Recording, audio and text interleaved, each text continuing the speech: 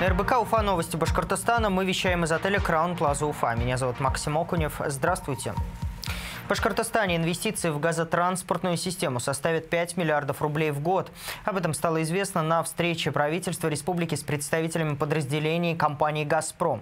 В частности, компания «Газпром Трансгаз Уфа» запланировано построить 72 объекта, которые обеспечат газом 25 тысяч домов в 164 населенных пунктах. На сегодняшний день уровень газификации республики составляет более 82%. Это почти на 11% выше, чем в целом по стране.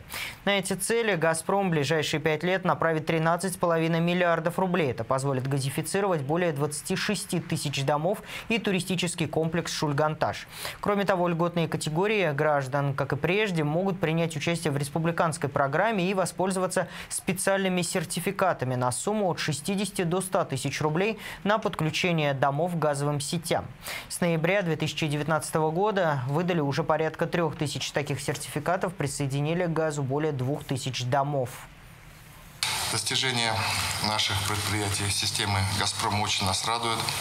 Я вот сегодня хотел сказать, недавно предприятие «Газпром Трансгаз Уфа» преодолело очень важный, я бы сказал, исторический рубеж, перекачан четвертый триллион кубометров газа. Мы с вами продолжим проводить и газ в жилые дома, и социальные объекты, и обеспечить инфраструктуру нового предприятия. Будем двигать тему газомоторного топлива, строить новые станции, что у нас тоже неплохо получается на данный момент. Продолжим совместный с УМПО проект по газоперекачивающим агрегатам.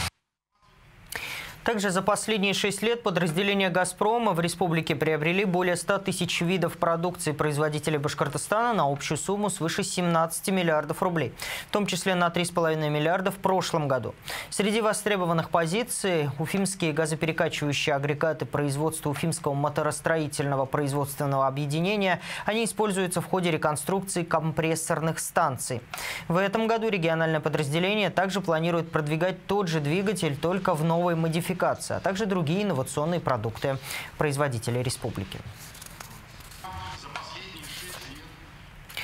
В Башкортостане завершается строительство хирургического корпуса Республиканского кардиоцентра. На данный момент уже идут работы по облицовке фасада и помещений.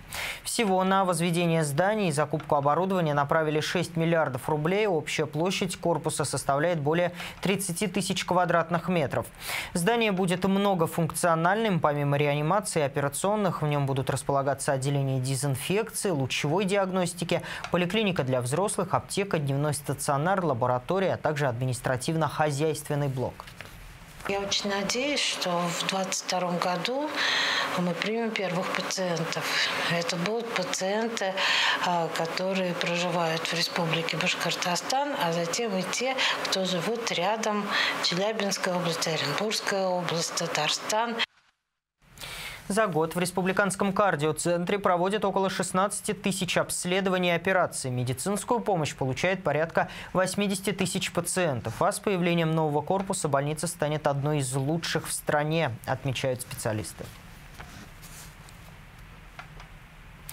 В Башкортостане объем переработки сельхозпродукции планируют увеличить до 200 миллиардов рублей. Это позволит республике в течение пяти лет войти в число ведущих регионов страны по этому показателю.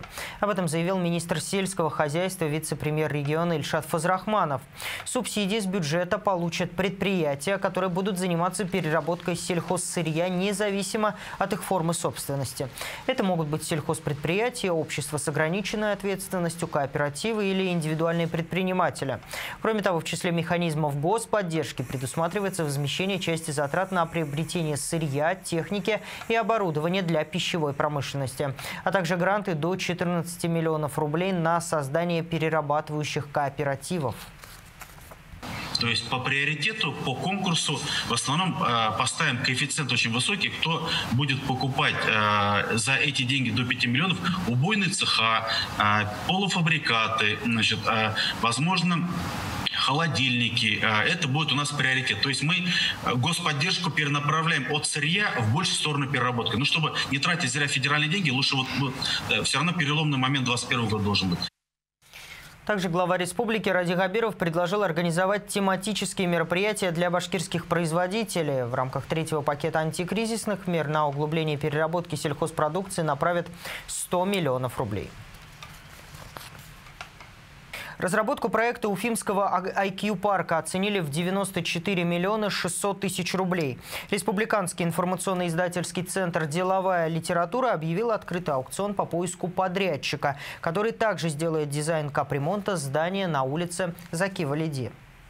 Согласно тех заданию, проект должен включать в себя фудкорт с открытой террасой, клубный этаж, конгресс-центр и пространство для VIP-гостей. На крыше планируется проводить мероприятия или конференции. Отобрать подрядчика собираются 17 февраля. Проект нужно выполнить в течение двух месяцев.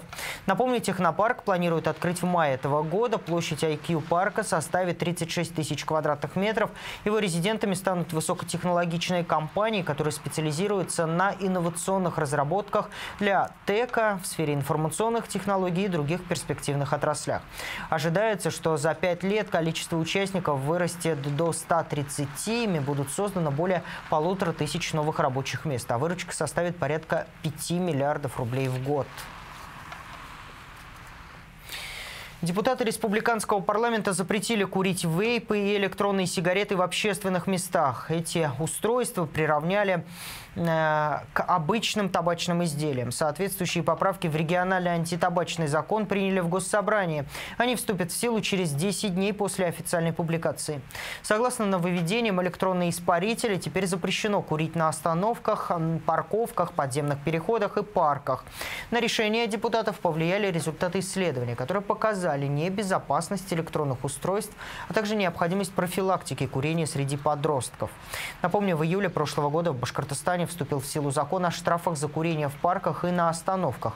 Нарушители могут оштрафовать на 500 рублей. В случае повторного нарушения сумма удваивается. И на этом наш выпуск подошел к концу. Оставайтесь на РБК.